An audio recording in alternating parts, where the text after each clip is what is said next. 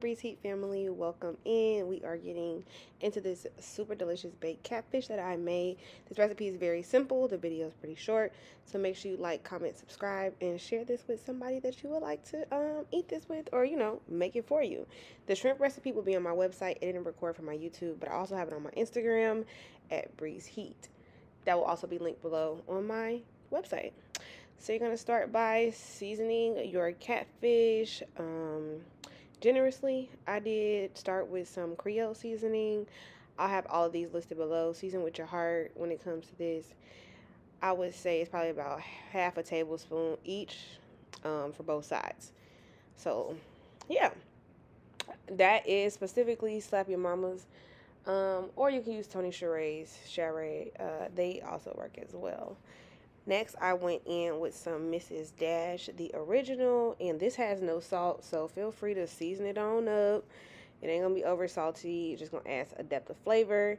And y'all already know the star of the show is some paprika. That's what's what's gonna give y'all this like beautiful color that you've seen on that catfish.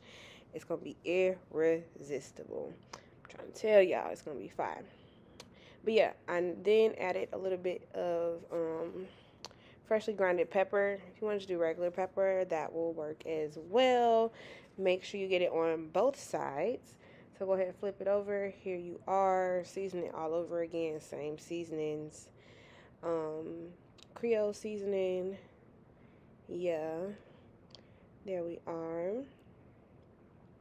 Shout out to my man for getting the good angles. We've been practicing his camera stuff out. And it seemed like it's going pretty well, you know we seeing what works for us because it's hard being in the kitchen trying to record with a full-blown camera. Also having my phone out for instagram the ring light tripods look. And a one-year-old and two dogs but the dogs they be outside when we be cooking. But the one-year-old is enough. He is enough. But yeah line this in your pan. I didn't like line it with any like olive oil or anything like that. I just put it straight up into the pan if you want to put like some Pam on there so it don't stick, it won't stick either way.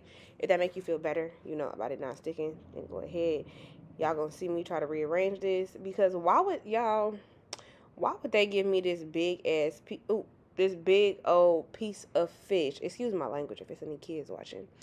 This big old piece of fish with these other pieces. Like, this look like like literally y'all look at these pieces like like they need to be for real be for real. This piece is gigantic. Although, you know, I would love more gigantic peaches. Why would they not give them to me even? Anyway, you're going to pop it into your oven on 400 for 10 minutes. Um, and then in the last five minutes, you're just going to place it on to broil. And when you finish, oh, my bad, place in there 400 for 15 minutes. The next five minutes, which makes it 20 minutes cook time total. It'll look like this.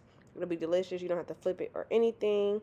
I already gave y'all the sauce to the dirty rice. Like I said, the shrimp recipe is on my website. Follow me. I love to see y'all try these. Thank you, y'all.